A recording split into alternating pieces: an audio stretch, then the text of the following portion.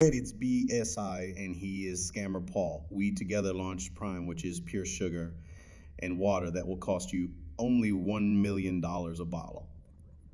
It comes with different flavors, and you can't actually tell the difference between them. If you don't buy this drink, then you are no longer a true fan and also no longer the cool guy. There are so many better drinks out there, but you should buy Prime because it makes me rich. So buy this drink with your life savings so I can make so much money.